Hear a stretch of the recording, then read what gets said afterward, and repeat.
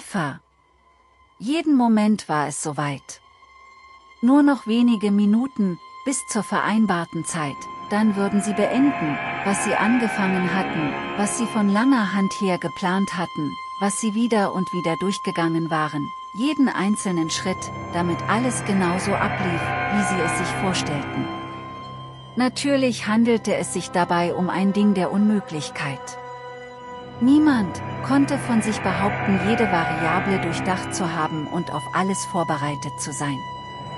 Aber sie hatten es versucht, oh ja, sie hatten alles daran gesetzt, dass es funktionierte. Sie dürften nicht scheitern, immerhin ging es hier nicht nur um sie, ganz im Gegenteil, sie waren nur ein kleines Rädchen in diesem riesigen, komplexen, undurchschaubaren System. Ein System, das erkrankt war und das sie hier und heute heilen würden, oder zumindest den Grundstein dafür legten. Lexton beugte sich vor, um nach seiner Sporttasche zu greifen und gab sich dabei größte Mühe, den Gestank um sich herum zu ignorieren. Der Toilettenraum war wahrlich kein glamouröser Ort für den Beginn ihrer Mission, aber was sollte man machen? Es war ohnehin egal, später würde niemand mehr darüber reden, wie alles begonnen hatte, sie würden nur noch darüber sinnieren, wie es endete, wie diese kleine Gruppe, Großes bewerkstelligt hat, um das Menschengeschlecht zu retten. Mit einer ruckartigen Bewegung, riss Lexton den Reißverschluss seiner großen Sporttasche auf und spähte hinein. Alles was er für den heutigen Tag brauchte, befand sich darin. Ein einziger Gegenstand schimmerte ihm entgegen, als lächle er, als wüsste er ganz genau, zu welchem Zweck er diene. Es war nur ein Werkzeug, im wahren, wie im übertragenen Sinn, doch heute würde es zu so viel mehr werden. Dieses Werkzeug würde zu einem Symbol werden, einem Symbol der Veränderung, der Kurskorrektur, der Erlösung. Zärtlich, beinahe liebevoll, holte Lexton die Axt heraus, maß ihr schweres Gewicht voller Genugtuung und wendete sie ein paar Mal hin und her. Er betrachtete sich selbst in der Spiegelung der Klinge. Seine kalten, mitteilungslosen Augen starrten ihm entgegen. Egal, sein Geist mochte versumpft sein, doch das spielte keine Rolle, solange seine Waffe scharf war. Er drehte sie mit der Klinge nach unten und stützte seine Hände auf den Schaft ab. So saß er da, auf dem zugeklappten Toilettendeckel, in seiner kleinen Kabine und wartete. Wartete, dass der Moment kam, mit dem alles beginnen würde. Hier beginnt es und hier endet es, dachte er, mit einem zufriedenen Lächeln auf den Lippen, welches seine Augen nicht erreichte. Am Abgrund. Unsere Welt steht am Abgrund. Nichts Neues soweit, werdet ihr sagen und damit recht tun, immerhin prognostiziert alle Jubeljahre jemand den nahenden Untergang und stößt damit auf taube, gelangweilte Ohren. Man kann es nicht mehr hören, verständlicherweise, ist doch bisher nichts Nennenswertes geschehen, was uns in Untergangsstimmung versetzt hätte. Zumindest uns, die wir hier in unserem Wohlstand baden, unseres glücklichen Lebens frönen und uns höchstens mit First World Problems rumschlagen müssen, geht es doch gut. Nichtsdestotrotz werden sie immer wieder laut, die Stimmen die da rufen, Klimawandel, knappe Ressourcen, Überbevölkerung. Große Worte, so oft rezitiert, dass sie mittlerweile Abnutzungserscheinungen zeigen. Was soll's, denken wir uns. Ich alleine kann ohnehin nichts dagegen unternehmen, und das stimmt. Das einzelne Individuum könnte die genialste aller Ideen haben, um uns alle zu retten und die Probleme der Gegenwart nicht folgenden Generationen zu überlassen, die vermutlich eher in ihrem eigenen Dreck ersticken, denn noch irgendetwas dagegen unternehmen zu können, und doch nichts damit anfangen, denn er wäre nur ein Mann, eine Frau, ein Mensch, gegen ein ganzes System, ein Kollektiv, das niemand durchschaut und niemand durchbrechen kann. Selbst wenn er es schafft, seine Mitmenschen zu überzeugen, selbst wenn er eine kleine Gruppe oder gar ein ganzes Volk mobilisieren kann, steht es immer noch er, gegen die ganze Welt. Ein unmögliches Unterfangen. Das System, das sich ihm entgegenwirft, haben wir uns selbst herangezüchtet und nun droht es uns zu übermannen. Alles ist vernetzt, alles miteinander verstrickt. Ziehe an einem Faden und du löst ein erdbebengleiches Ereignis an einem Ort aus, von dem du nicht einmal wusstest, dass er existiert. Unzählige Betriebs- und Volkswirte, die Jahr für Jahr aus den Universitäten strömen, wissen das oder ahnen es zumindest. Ändert sich deswegen etwas? Nein, weil Veränderung in diesem Konzept nicht vorgesehen ist. Es funktioniert doch, es atmet, es arbeitet. Klar, hin und wieder rasseln die Lungen ein wenig, das Herz kommt ins Stocken und manchmal muss ein Auswuchs dieser riesigen Maschine zum Preis hunderter oder tausender Menschenleben einfach abgestoßen werden. Aber wen kümmert's? Solange der Rest weiterläuft, sind die Opfer entbehrlich. Niemand fragt nach ihnen, niemand kümmert sich um sie und wer es doch tut, der wird selbst früher oder später unter den Zahnrädern zermalmt. Ihr werdet sagen, auch das, habt ihr so oder in ähnlicher Form schon hundertmal gehört und darüber nur müde lächeln, die Augen verdrehen, höflich nicken und sagen, rede ruhig weiter, stell dich gegen das System, tätowier dir ein Anarchiesymbol auf die Stirn, du wirst auch nichts ändern, vielleicht liegt ihr damit richtig, vielleicht wird mein Unterfangen sang und klanglos untergehen, an den Menschen, die ich zu bekehren versuche, wirkungslos vorbeiziehen und sich in Bedeutungslosigkeit verlieren. Aber wenigstens sterbe ich dann eines Tages in der Gewissheit, es versucht zu haben. Ich werde nicht länger tatenlos sitzen bleiben und zusehen, wie wir uns in unserem Elend sohlen. Und wenn ihr, die ihr hier sitzt und meinen Worten lauscht, der gleichen Meinung seid, dann schließt euch mir an und hört meinen Plan, zur Rettung unserer Zivilisation, oder besser gesagt, zum Anstoß eben dieser. Alpha und Omega. Sie waren zu siebend, mit Lexten an der Führung, als treibende Kraft, als Denker, als Planer. Allesamt junge Menschen, die am Anfang ihres Lebens standen und eben dieses bedroht sahen. Studierte Menschen oder solche, die es werden wollten. Die zukünftige Elite halt, deren Bestimmung es war, so predigte man ihnen immer wieder, die Zukunft zu sein, diejenigen, die entschieden, wie es mit der Welt und ihren Bewohnern weiterging. Allerdings verschwieg man ihnen dabei, dass ihr Weg quasi schon geebnet wurde, dass es, wenn sich nichts änderte, und das würde es nicht, überhaupt gar keine Zukunft gab. Jeder wusste es und jeder schwieg es tot. Welche Alternative hatte man auch schon groß? Diesen jungen, noch unbeschadeten Menschen erklären, dass man ihnen ihr Leben dank vergangener Taten bereits zerstört hatte.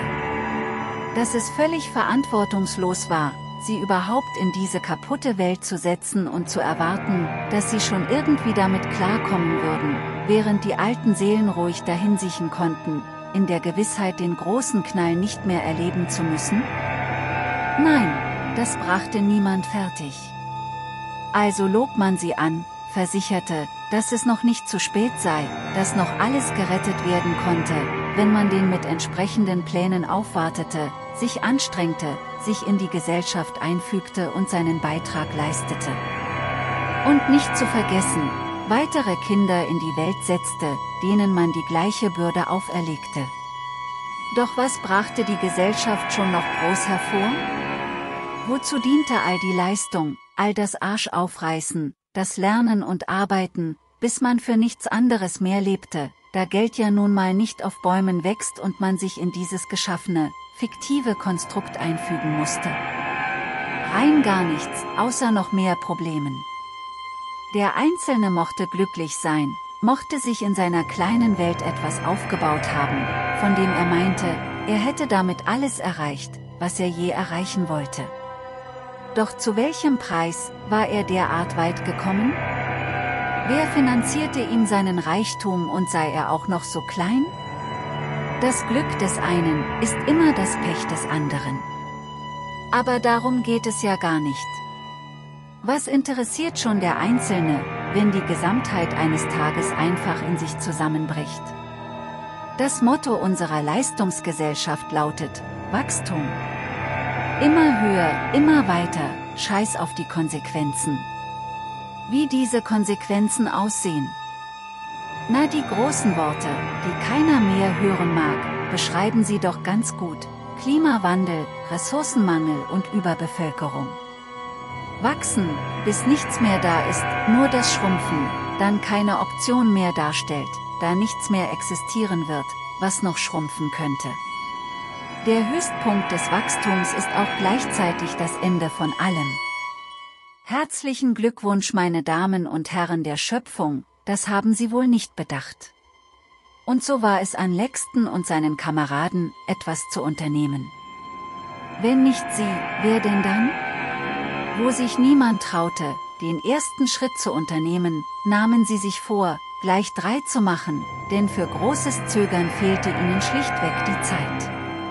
Wo jeder sich schön zu reden versuchte, dass sich eines Tages schon jemand erheben würde, der sie in ein goldenes Zeitalter führte, nahmen sie das Schwert in die Hand und führten das Heer an, welches notwendig war, um eben genau diesen glorreichen Traum zu erreichen. Sie waren, das Alpha und das Omega. Der Anfang des Wandels und das Ende einer verrotteten Zeit. Schatten. Es wird Zeit, murmelte Lexton. Er hatte keinen Blick auf die Uhr geworfen, doch sein Gefühl verriet ihm, dass es soweit war. Dennoch nahm er sich noch ein paar Sekunden, um noch ein paar Mal tief durchzuatmen. In den folgenden Minuten dürfte er sich keinen Fehler erlauben, ein Scheitern war nicht nur inakzeptabel, sondern wurde in seinem Denken von vornherein ausgeschlossen. Als er hörte, wie jemand den Toilettenraum betrat, erkannte Lexton es als Wink des Schicksals. Derjenige, wer auch immer er sein mochte, lief mit schlurfenden Schritten an seiner Kabine vorbei, welche dem Eingang am nächsten lag und zu den Pinkelbecken hin. Jetzt nur nicht zögern.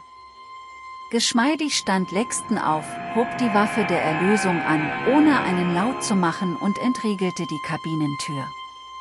Ein letztes Mal atmete er noch tief durch, dann legte er seine Hand auf die Klinke, drückte sie hinab und öffnete so leise wie möglich die Tür. Zielgerichtet und zu allem bereit schritt er hinaus, nahm die Axt in beide Hände und blieb völlig erschrocken stehen. Was zum? Mehr brachte sein geschockter Geist nicht zustande. Leere herrschte in seinem Kopf, den Blick starr auf das Bild vor sich gerichtet, wog die Axt in seinen Händen plötzlich tonnenschwer, dennoch hielt er sie weiterhin fest umklammert, als wäre sie die letzte Konstante dieser Welt, die er niemals loslassen dürfte, um nicht völlig den Bezug zur Realität zu verlieren. Der Augenblick der gelähmten Starre verflog wenige Sekunden später, die letzten jedoch wie Stunden vorkamen. Irgendwie löste er sich davon und schaffte es, sein Hirn wieder in Gang zu bringen. Unbeholfen und alles andere als geschmeidig, stolzierte er die letzten Schritte auf sein ausersehenes Opfer zu, das weder eines war, noch, dass es überhaupt lebte.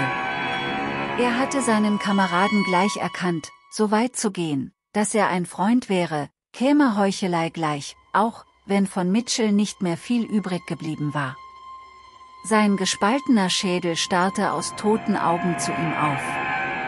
Abgeschlagen hatte man ihn und als ob das noch nicht schlimm genug gewesen wäre, war ihm zudem irgendein scharfer, schwerer Gegenstand mitten durch den Hinterkopf gerammt worden, weswegen der Kopf sich seltsam zu beiden Seiten ausdehnte. Falsche Reihenfolge, schlussfolgerte Lexton. Ja natürlich, Zuerst war Mitchell die Waffe in den Hinterkopf gejagt worden und dann, als er schon tot war, hatte man ihm das Haupt auch noch abgeschlagen. Und um dem Ganzen die Krone aufzusetzen, wurde der Schädel nun wie eine makabre Trophäe, aufgerichtet stehend, in dem Pinkelbecken präsentiert.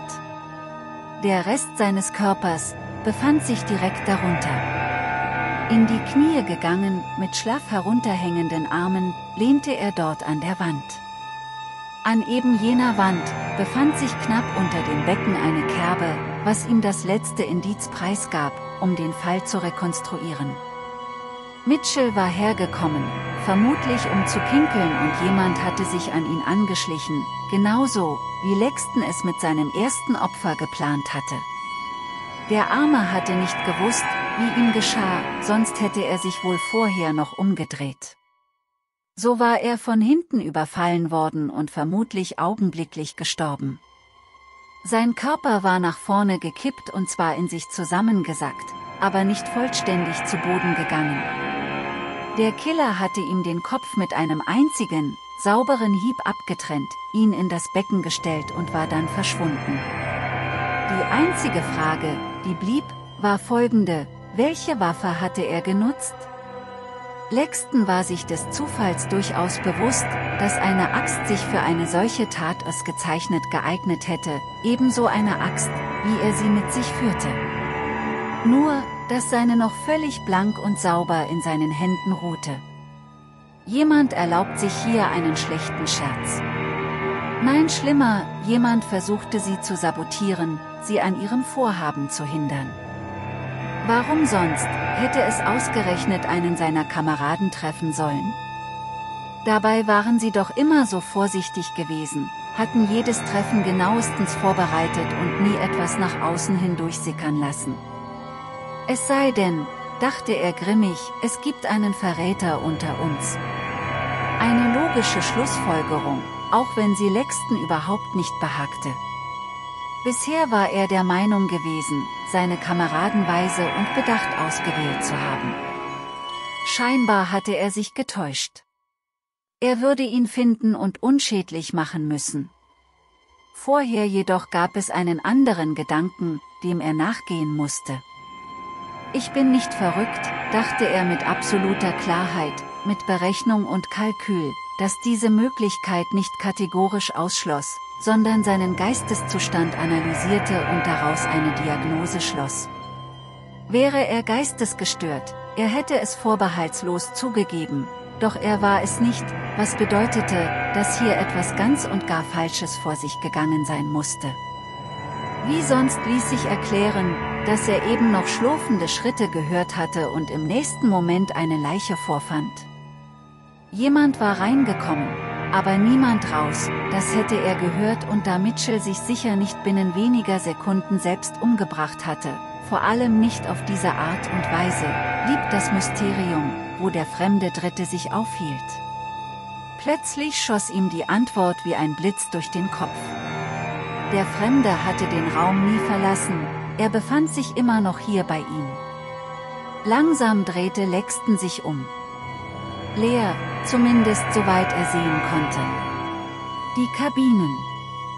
Von seiner Position aus, konnte er immerhin schon einmal sehen, dass keine von ihnen abgeschlossen worden war, aber das musste ja nicht bedeuten, dass sich darin niemand befand.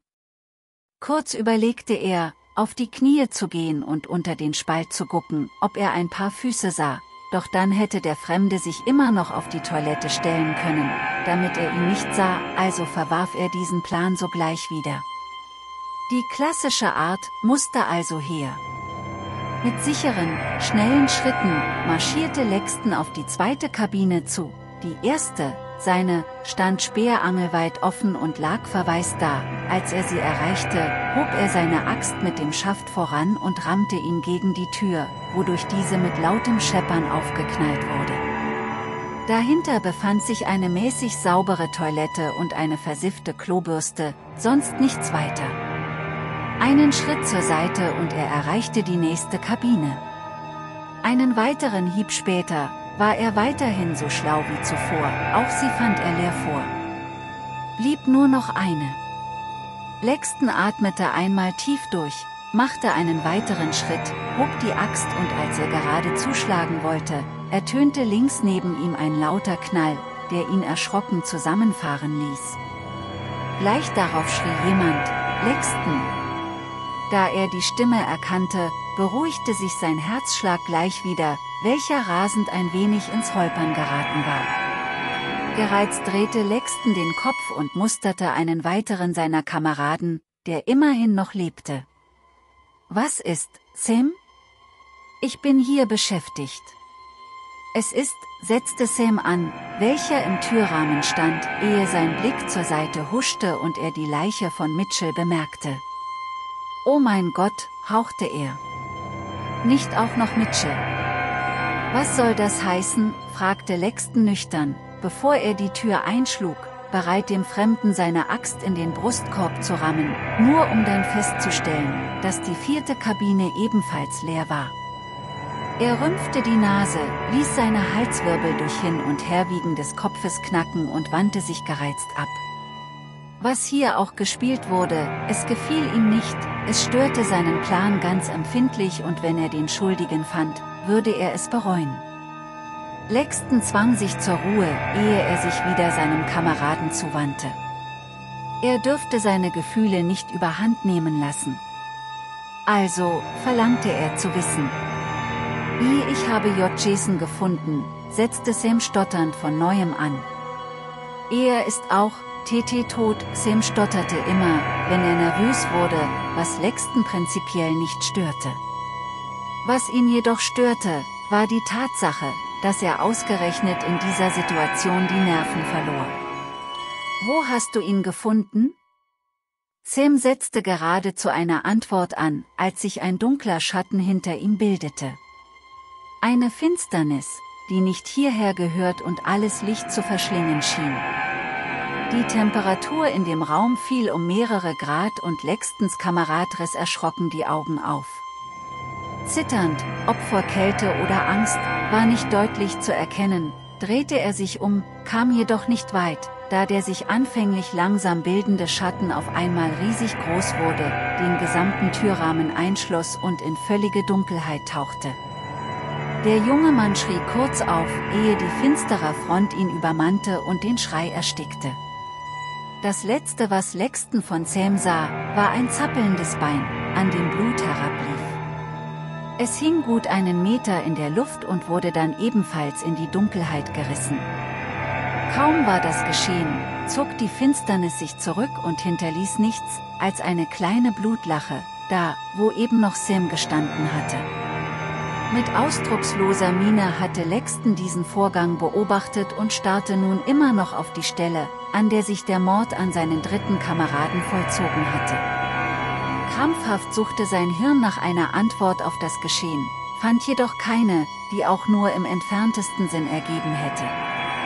Dunkelheit materialisierte sich nicht einfach so am helllichten Tag und verschlang irgendwelche Leute, solche Dinge gab es nicht in seiner Welt, sondern nur in Filmen und Büchern, in den Köpfen der Menschen, die sich lieber in einen surrealen Traum flüchteten, statt sich den wahren Schrecken zu stellen, die direkt vor ihrer Haustür lauerten. Ich bin nicht verrückt, dachte er wieder mit absoluter Klarheit und ließ keinen Zweifel an dieser Aussage zu. Aber wenn er nicht verrückt war, konnte das nur bedeuten, dass das was er da gerade gesehen hatte, tatsächlich geschehen war und es Dinge in seiner Welt gab, die er nicht verstand. Dinge, von denen er bisher geglaubt hatte, dass sie nicht existierten. Und wenn schon, sagte er sich. Ich bin auch nicht allwissend. Und damit war die Sache gegessen. Wenn es paranormale Mächte gab, schön, vielleicht halfen sie ihm sogar dabei, seinem Ziel näher zu kommen. Vielleicht waren sie die Strafe einer höheren Macht, die begriff, was Lexton schon lange begriffen hatte, dass es an der Zeit war, die Menschheit zu reinigen, die Welt von der schieren Überzahl an Menschen ohne Perspektive zu befreien, zu denen jene zählten, die sich bereitwillig in das Getriebe einer Maschine einfügten, die nur Zerstörung kannte, die nichts Brauchbares und Lebensnotwendiges zurückließ. Wenn dem wirklich so war, dann war Lexton gerne gewillt, sich dieser Macht anzuschließen und wenn nicht, dann sollte sie ihm wenigstens nicht in die Quere kommen. Leise vor sich hin pfeifend, schwang Lexton die Axt so, dass sie auf seiner Schulter landete und er wie ein fröhlicher Holzfäller losziehen konnte, um die Früchte seiner Ernte einzuholen. Im Vorbeigehen betrachtete er noch einmal die Leiche von Mitchell und wunderte sich erst jetzt darüber, dass er in seiner Kabine sitzend gar nicht gehört hatte, wie sein Kamerad gerichtet worden war. Allerdings hatte er die Antwort auf diese, bis eben noch ungestellte Frage, ja schon erhalten. Gleichgültig lief er weiter, stieg über die kleine rote Pfütze im Türrahmen und verließ die den Toilettenraum, um das fortzusetzen, was er noch nicht einmal richtig begonnen hatte. Es wurde Zeit. Omega. Die Flure des Universitätsgebäudes lagen still und verlassen vor ihm. Soweit, so erwartet, immerhin fanden gerade in den unzähligen Räumen Lesungen statt, denen aufmerksam gelauscht wurde. Hier wurde die nächste Generation Menschen ausgebildet, denen man die Zukunft der Erde in die Hände legte, indem man ihnen die gleichen Werte beibrachte, die die aktuelle Notsituation erst verursacht hatten. Worin da der Sinn lag, fragte Lexton sich schon lange nicht mehr. Glaubte man etwa wirklich, dass die Jüngeren aus den Fehlern der Alten lernen würden? War es nicht wahrscheinlich, dass sie einfach das fortsetzten, was vor langer Zeit begonnen worden war? Dass sie, statt das System komplett umzuckerempeln, lieber an dem Bekannten rumschrobbten und hofften, dass es schon irgendwie gut gehen würde? Wie naiv konnte man eigentlich sein? Doch diese Fragen waren für Lexton schon lange nicht mehr von Bedeutung. Er hatte erkannt, dass etwas getan werden musste, dass sich etwas ändern musste und statt sich sinnlosen Überlegungen hinzugeben, handelte er lieber. Ob er seine Generation revolutionieren würde? Vermutlich nicht, nicht alleine zumindest, aber vielleicht würden genügend andere Menschen seine Vision erkennen, sie für sich annehmen und ebenfalls beginnen zu handeln, statt zu denken und sich ihrem Schicksal zu ergeben. Links oder rechts, fragte Lexton sich, sah in beide Richtungen und entschied, dass es im Grunde genommen egal war, irgendwo würde er schon jemanden finden, der auf dem Flur rumlungerte, weil er sich während eines Freiblocks die Zeit vertrieb, besser gesagt, sie verschwendete, oder einfach nur auf die Toilette musste. Dass er nicht einfach in einen Lesungsraum stürmen und anfangen konnte wild um sich zu schlagen, verstand sich von selbst viel zu schnell würde man ihn überwältigen und da bereits drei seiner Kameraden gefallen waren, sank ihre potenzielle Erfolgsquote ohnehin schon drastisch genug. Freilich mochte man die berechtigte Frage stellen, warum er auch ausgerechnet eine Axt für seine Arbeit verwenden musste, dabei war die Antwort recht simpel. Schusswaffen waren schwer zu beschaffen und außerdem hatte niemand aus der Gruppe wirklich Erfahrung im Umgang mit ihnen. Die Gefahr sich eher selbst in den Fuß zu schießen, als die Mission zu erfüllen, stellte ein zu großes Risiko dar. Eine Axt hingegen fand man in jedem guten Baumarkt. Sicher, das Hemmnis jemanden zu erschlagen, statt einfach nur einen Abzug zu betätigen wog schwerer, aber über solche Gefühle waren sie alle längst hinweg. Lexton hätte nicht zugelassen, jemanden in ihre Gemeinschaft zu nehmen, der nicht bereit war mit Leib und Seele für das Wohl der Menschheit zu kämpfen. Lexton wandte sich nach links und stimmte, während er durch den Flur schritt, die nächste Melodie an, welche er leise, fröhlich vor sich hin pfiff. Wenn jemand seinen Kopf aus einem der Räume schieben würde, um zu sehen, wer da so gute Laune versprühte, würde er ihm seine Axt ins Gesicht rammen, ganz gleich, welchen Tumult er dabei auslöste. Einer der wichtigsten Aspekte seines Vorhabens war, dass er keine Unterschiede machte. Er wählte seine Opfer nicht explizit nach irgendwelchen Kriterien aus, sondern behandelte sie alle gleich, als wären sie alle bereit sich in das System, das er bekämpfte, einzufügen. Selbst wenn er sich irrte, so hatten sie doch das Potenzial dazu. Abgesehen davon, wie sollte er seine Botschaft effektiv vermitteln, wenn er vor jeder Handlung erst einmal Ewigkeiten überlegte, das für und wieder abwog? Das sprach doch genau gegen seine Art, diese Dinge zu regeln. Später, wenn er erfolgreich war, konnte man immer noch darüber reden, bestimmte Menschen zu schonen, auch wenn das Schema nach dem bewiesen wurde, dass jemand wirklich seine Überzeugungen teilte, erst noch entwickelt werden musste. Er bog um eine Ecke ab und blieb erstarrt stehen. Nicht vor Schreck, sondern einfach, weil sich ihm ein überraschender Anblick bot, mit dem er nicht gerechnet hatte. Die vierte im Bunde, dachte Lexton grimmig, das hieß, sofern Sam nicht gelogen oder sich zumindest getäuscht hatte und Jason wirklich tot war. Direkt zu seiner Linken, die Richtung, in die er gerade abgebogen war, hatte jemand, oder etwas, Lisa aufgeknüpft und zwar im wahrsten Sinne des Wortes. Wie Jesus vom Kreuze, hing sie da an der Wand, befestigt mit Nägeln, die man ihr durch die Hände getrieben hatte. Wobei es sich bei den Dingern eher um große, schwere Bolzen handelte. Ein weiterer steckte in ihrer Stirn, welcher ihren Kopf in aufrechter Position hielt. Die Augen immer noch schreckgeweitet, wurde Lexton klar, dass sie Zeit genug hatte zu realisieren, was man mit ihr anstellte. Ein Geräusch hinter ihm schreckte Lexton auf, weswegen er sich ruckartig umdrehte und diese Aktion sogleich bereute. Er hatte nicht gemerkt, dass er mitten in Lisas Blut stand, welches sich in einer kleinen Lache unter ihr gebildet hatte und rutschte nun, dank seiner hastigen Bewegung darauf aus. Zwar versuchte er noch, das Gleichgewicht zu wahren, doch zog ihn das zusätzliche Gewicht der Axt in seiner Hand erst recht nach unten, weswegen er mit lautem Poltern rücklings aufschlug. Blut wurde hochgespritzt und in alle Richtungen verteilt, wobei natürlich auch einiges auf ihm selbst landete. Nun war es endgültig um den jungen Mann geschehen. Seine Instinkte meldeten sich nicht länger, drängten ihn nicht dazu, zu rennen, zu fliehen, um sein Leben zu kämpfen. Wissbegierde hatte sein gesamtes Wesen erfüllt, sein Ziel, die Menschheit zu retten, erschien ihm plötzlich bedeutungslos. Was bist du, hauchte er und streckte eine Hand nach dem Schatten aus. Dieser wich zurück als scheute er sich, doch Lexton ließ nicht locker, machte einen Schritt auf die dunkle Masse zu, um wenn nötig, mit aller Gewalt diesem Wesen näher zu kommen. Er wollte es spüren, wollte es begreifen. Der Schatten wich weiter zurück und wurde nun unruhig, Lextons Bedrängnis schien ihm zu missfallen. Zier dich nicht, murmelte er, ohne sich selbst zuzuhören. Da zog die Finsternis sich plötzlich zusammen, wurde dichter, manifestierte sich zu einer zwei Meter hohen, ovalen Form und verharrte. Ein Portal, meinte Lexton mit Gewissheit sagen zu können, auch wenn er sich nicht erklären konnte, woher dieses Wissen stammte. Wieder streckte er die Hand aus, wieder machte er einen Schritt auf das Ding zu.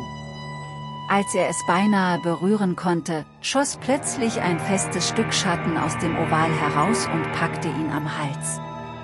Lexton spürte sogleich, wie ihm die Schattenhand die Kehle zudrückte, er packte den Arm, zog und zerrte daran, doch das Ding ließ nicht locker. Als er langsam einsetzende Atemnot verspürte, schälte sich der restliche Körper aus dem Dunkel. Eine menschliche Gestalt, nur pechschwarz. So vollkommen schwarz, dass Lexton meinte, die dunkelste Finsternis zu erblicken. Das Gesicht der Gestalt konnte er nicht klar erkennen, da es von waberndem schwarzen Nebel umschlossen wurde.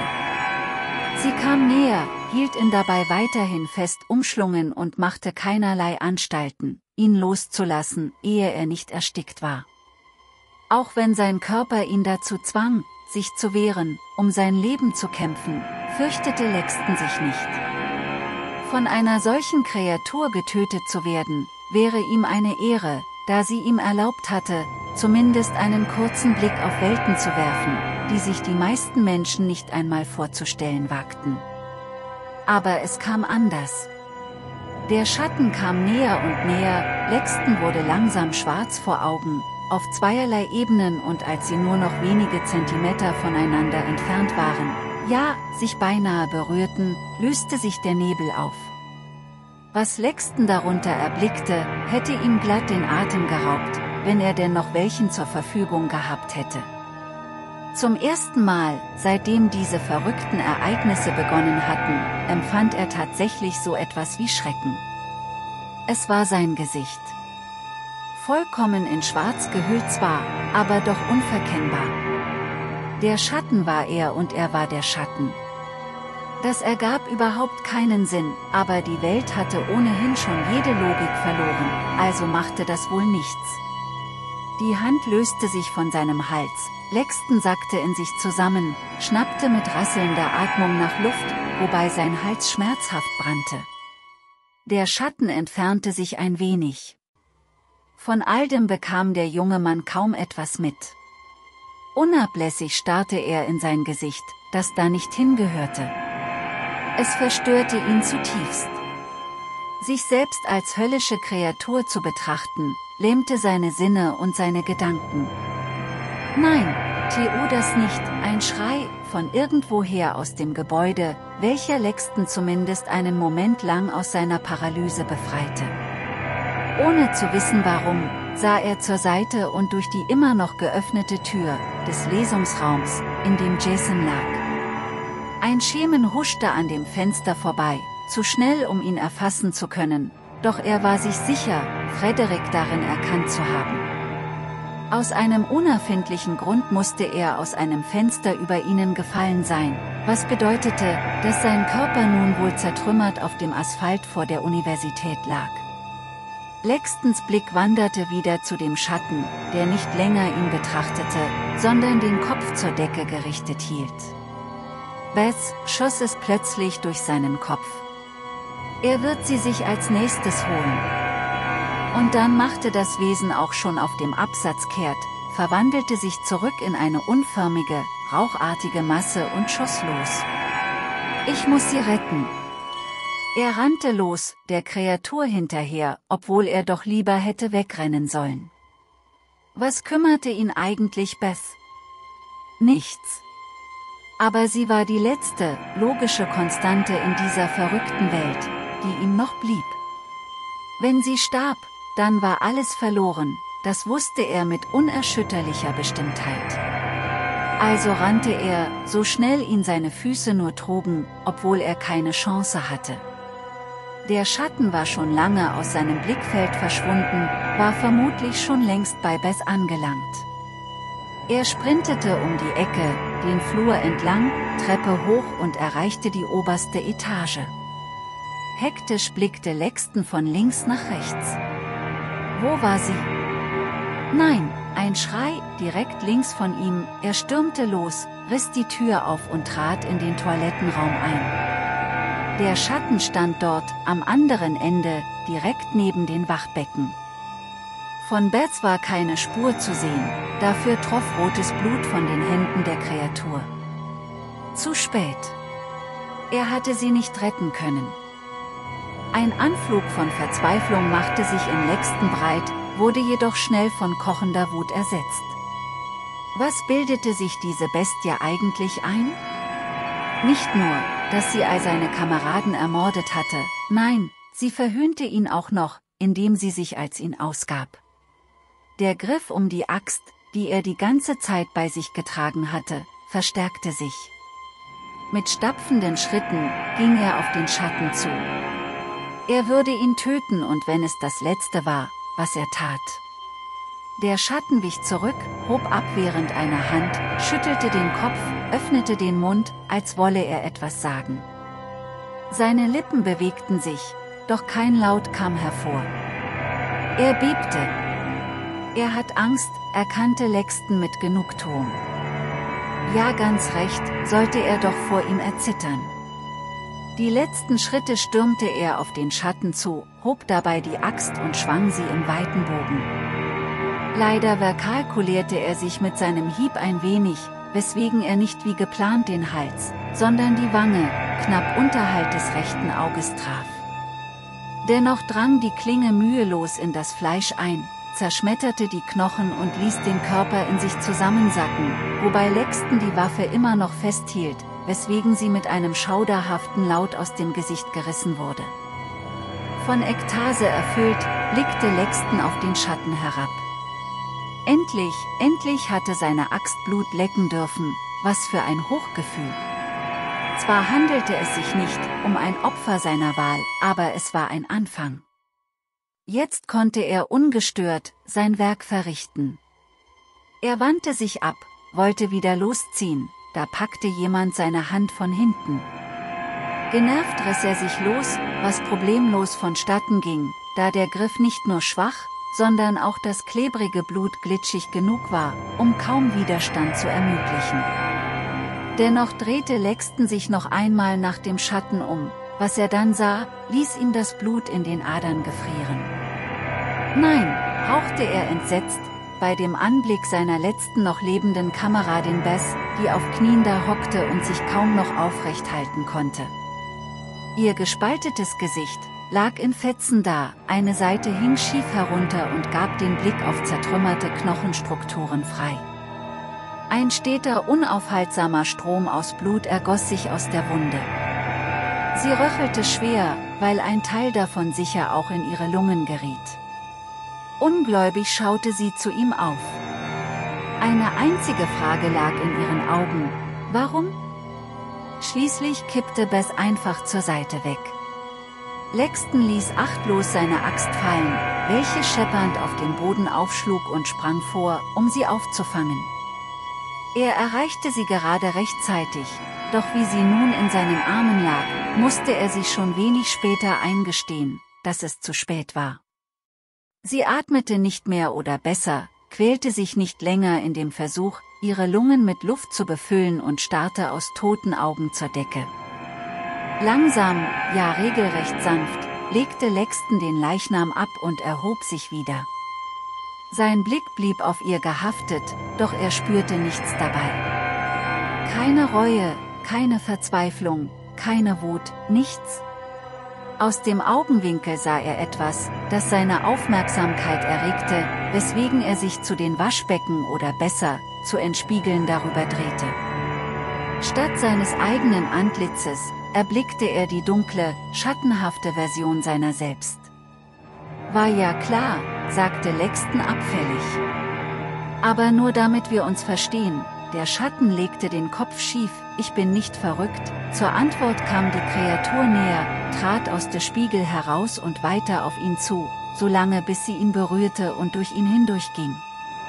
Nein, das stimmte nicht ganz, sie ging nicht durch ihn hindurch, sondern verschmolz mit ihm, kehrte dahin zurück, wo sie hingehörte. Damit einher, kehrte allerdings nicht sein eigenes Spiegelbild zurück. Stattdessen starrten nun sechs bekannte Gesichter zu ihm. Mitchells abgetrennter Kopf, Sams völlig zerfetztes Antlitz, Lisas durchbohrte Stirn, Jasons schreckgeweiteten Augen, Frederiks erlöste Mimik in einem deformierten Schädel und Beets geteilte Visage. Sie wirkten nicht vorwurfsvoll. Wie auch, sie waren tot. Lexton wusste nicht, wie lange er sich so seinen alten Kameraden ausgesetzt sah. Zeit strich an ihm vorbei, ohne dass er etwas davon merkte. Das war auch nicht von Bedeutung, von Bedeutung war nur die Erkenntnis, die sich langsam in seinem Geist manifestierte. Langsam verschwommen die Gesichter, wurden undeutlich, unscharf und als sie sich dann wieder erkennbar zeigten, war nichts mehr von den individuellen Persönlichkeiten übrig. Stattdessen spiegelte sich nun Lextons eigenes Gesicht, sechsmal wieder. Er blickte zur Seite und stellte nicht im geringsten überrascht fest, dass Beth nicht mehr dort lag. Keine der Leichen, die er gesehen hatte, würde noch dort liegen, wo er sie gefunden hatte. Sie hatten nie existiert, nicht für die reale Welt zumindest. Ich bin wohl doch verrückt, kicherte Lexton leise in sich hinein. Ein weiteres Gesicht erschien im Spiegel, der Schatten. Er streckte die Hand aus und reichte dem jungen Mann einen glänzenden Gegenstand. Lexton nahm dankbar das Messer entgegen, musterte es fasziniert. Wie sich das Licht in der Klinge reflektierte, wunderschön. Dann sah er sich selbst darin, seine leeren Augen, die emotionslos zurückstarrten. Ich bin der Anfang und das Ende, murmelte er tonlos. Mir obliegt die Entscheidung, ein Teil der Rettung zu sein, ein Teil der Reinigung unserer verdreckten Welt. Ich kann das Ende sein. Er senkte das Messer hinab, hob seinen freien Arm und setzte die Klinge an der Pulsader an. Uh.